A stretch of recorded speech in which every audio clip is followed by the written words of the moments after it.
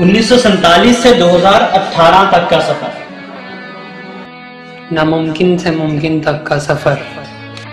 خواب سے حقیقت تک کا سفر۔ کچھ تلخ حقیقتیں کچھ کڑوے سچ۔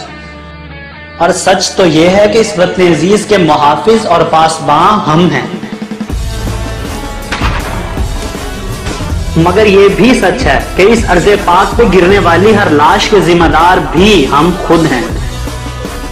سچ تو یہ ہے کہ حصول وطن ظلم و ناانصافی کے خلاف ایک جہاد تھا۔ مگر یہ بھی سچ ہے کہ وطن عزیز کو ظلم و ناانصافی کے اندھیروں میں دکیلنے والے بھی ہم خود ہیں۔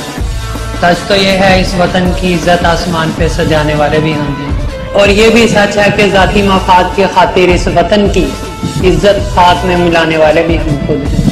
اور یہ بھی سچ ہے کہ اس خطہ پاک سے آزان کی صدائیں سات سمندر پار تک سنائی دیا کرتی تھی مگر یہ بھی سچ ہے کہ بارود کے دھماکوں اور پائل کی چھنچھناہٹ کی آواز میں صدائے آزان ڈبا دی ہم نے۔ ہم گنہگار ہیں اے ارض وطن۔ لیکن آج تجدید عہد کرتے ہیں۔ ہم جان تک لٹا دیں گے۔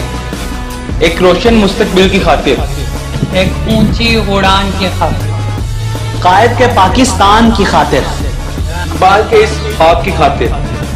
اس عرض پاکستان کی خاطر۔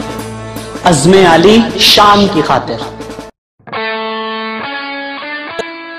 اس چودہ اگست پہ ایک چھوٹا سا عہد کہ ہم اپنے ملک کو صاف رکھیں گے اور سگنل کبھی نہیں توڑیں گے۔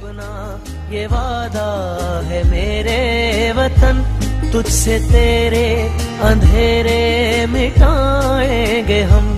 پاک خونے شہیداں کی ہم کو قسم۔